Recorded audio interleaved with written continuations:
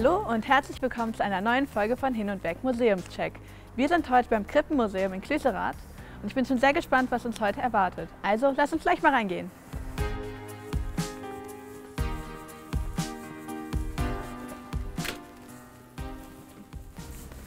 Guten Tag, Herr Porten. Guten Tag. Sie zeigen uns heute das Krippenmuseum. Ja. Können Sie zuerst erklären, wie das Museum entstanden ist? Ja, das Museum selbst ist entstanden vor zwölf Jahren. Unser Verein, Klüsserater Krippenfreunde, der besteht schon 40 Jahre jetzt. Wir feiern dieses Jahr Jubiläum. Mittlerweile haben wir 268 Mitglieder und sind dem Bayerischen Krippenverband angeschlossen. Das Museum ist entstanden dadurch, dass dieses Haus hier baufällig war und wir haben das Haus dann kaufen können und haben es dann mit Hilfe äh, von Zuschüssen des Landes Rheinland-Pfalz wieder neu aufgebaut und dann eben das Krippenmuseum hier installiert. Das heißt, getragen wird das Museum vom Verein? Genau. Die Vereinsmitglieder arbeiten ehrenamtlich hier, also bei uns wird niemand bezahlt. Ja, gehen wir doch einfach mal hoch und schauen uns das Museum an. Gerne. Danke.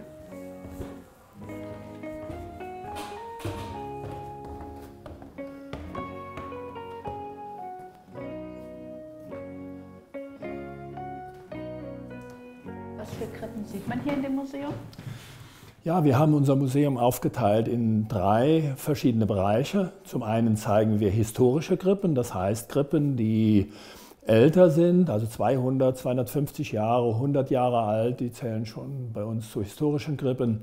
Dann haben wir neuzeitliche Krippen, die auch äh, von Krippenfreunden oder von Mitgliedern vom Verein gebaut werden. Und wir haben Krippen aus aller Welt. Bei den Krippen aus aller Welt ist es so, dass wir da auch äh, die unterschiedlichen Länder präsentieren und auch unterschiedliche Materialien, wie man zum Beispiel in Peru, in Südamerika, wie man äh, vielleicht in Spanien, Italien Krippen baut. Also da haben wir ein, ein, breites Spektrum, was wir hier im Museum zeigen.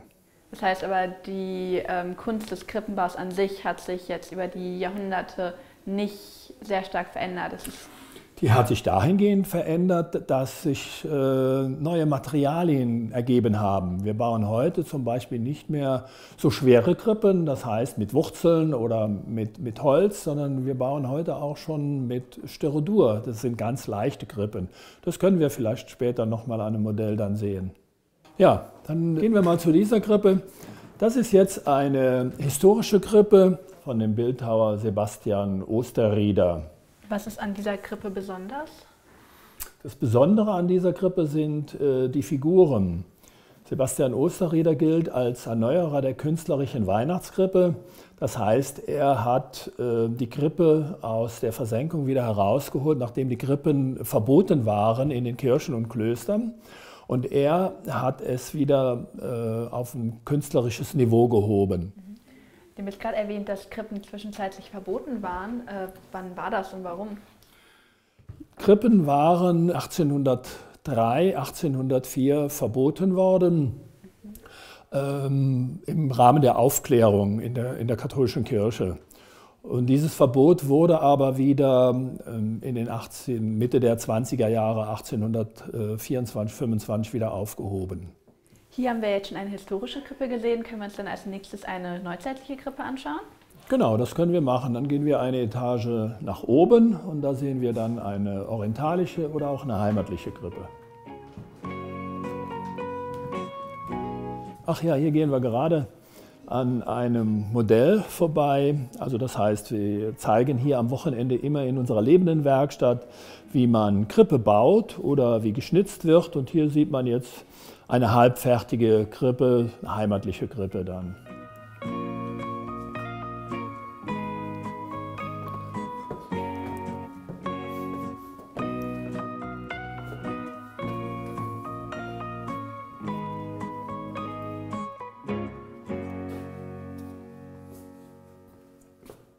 Das ist jetzt eine neuere Krippe? Das ist jetzt eine neuere Krippe, die hat unsere Präsidentin, die Pia Madat, gebaut, eine orientalische Krippe. Und was unterscheidet diese Krippe jetzt von der, die wir davor gesehen haben?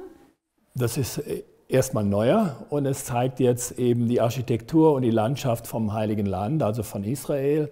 Bei den orientalischen Krippen äh, möchte der Krippenbauer das Geschehen der Weihnacht möglichst historisch äh, darstellen, also die Dörfer vom Heiligen Land Bethlehem, Nazareth und die Landschaft eben möglichst naturgetreu äh, darstellen. Das Geschehen also, das, wie es vor über 2000 Jahren womöglich stattgefunden hat, das wird hier in dieser Krippe dann nachempfunden. Hierbei handelt es sich um eine Simultankrippe. Da sind also verschiedene Szenen in einer Krippe dargestellt. Also beginnt mit der Herbergsuche. Josef und Maria auf dem Weg nach Bethlehem äh, zur Volkszählung äh, suchen eine Herberge und man sieht drüben den Wirt. Er sagt, ich habe keinen Platz. Der Josef steht da.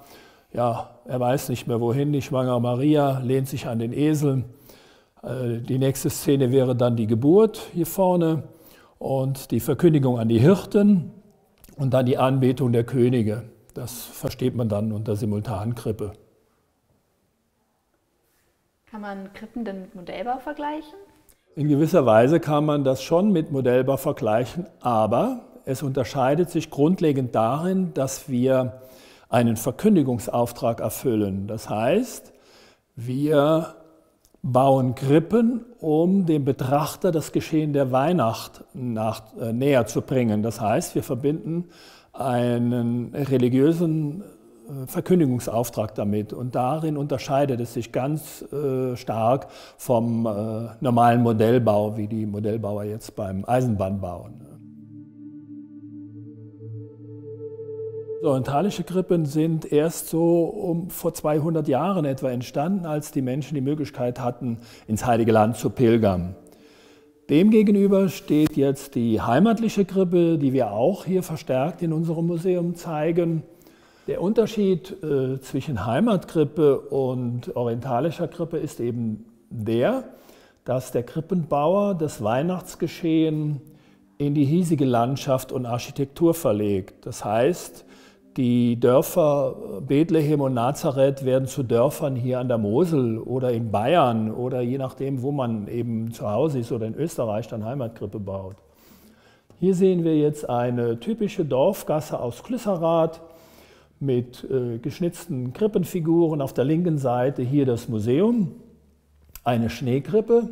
Und damit äh, will der Krippenbauer hier zeigen, dass Christus nicht nur vor 2000 Jahren äh, für die Menschen in, im Heiligen Land, in Israel, im Orient geboren ist, sondern auch für alle Menschen, auch auf der nördlichen Halbkugel. Im Gegensatz zu der orientalischen Krippe hier sind hier hinten keine drei Weisen aus dem Morgenlande, sondern die Sternsinger unterwegs, die bei uns ja auch am Dreikönigstag unterwegs sind, also als Symbol für die drei Könige.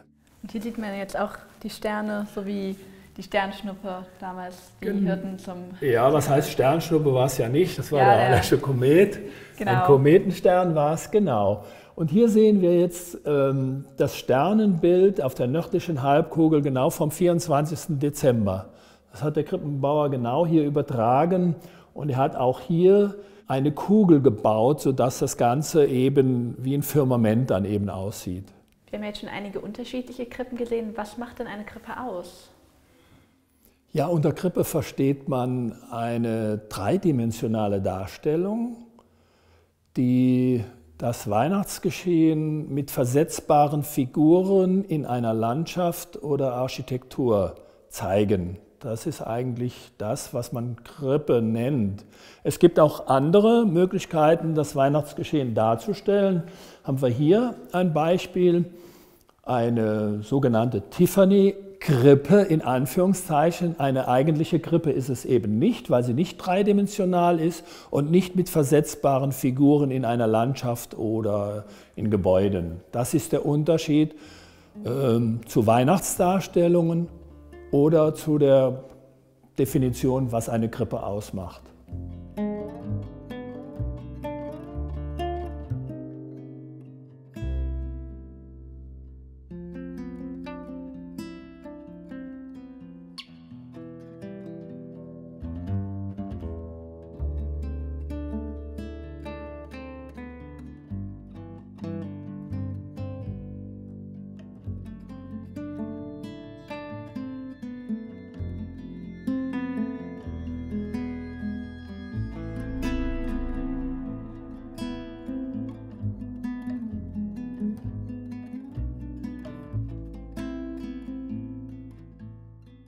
Ja, hier befinden wir uns jetzt in unserer diesjährigen Sonderausstellung 40 Jahre Klüsserater Krippenfreunde, unsere Jubiläumsausstellung. Hier sieht man auch so die Anfänge des Krippenbaus, auch ein äh, Heimathaus hier aus Klüsserath. Heute bauen wir doch schon etwas anders, nicht mehr so schwer und auch etwas filigraner, als wir damals gebaut haben.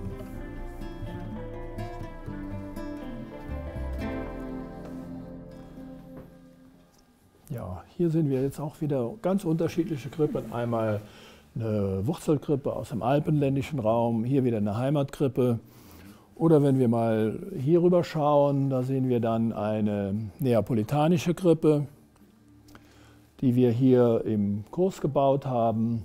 Also wir bieten im Verein unterschiedliche Kurse an, einmal zum Krippenbauen, einmal zum Figurenschnitzen, Tierschnitzen, zum Figurenbemalen, zum Fassen, zum Kaschieren, zum Hintergrundmalen, alles rund um die Krippe bieten wir an. Der Unterschied eben ist, dass äh, bei neapolitanischen Krippen alles oder überwiegend alles aus äh, Kork gebaut wird, aus Korkrinden, aus Korkteilen, die ausgeschnitten werden, außer die Säule.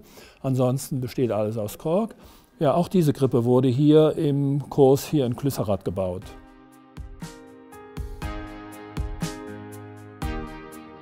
Vielen Dank für die ausführliche Führung. Es war sehr interessant, äh, einmal hinter die Kulissen vom Krippenbau zu schauen. Und wie man hier auch sieht, es gibt noch viel mehr Krippen hier zu sehen. Also wenn es euch gefallen hat, dann kommt doch gerne mal vorbei und wir sehen uns ansonsten in der nächsten Folge von Hin und Weg Museumscheck.